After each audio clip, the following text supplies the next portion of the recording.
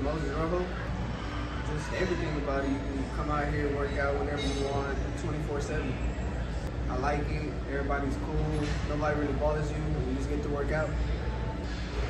Nothing really. I feel like they're doing everything they can and the best they can, just to be fit and just be strong.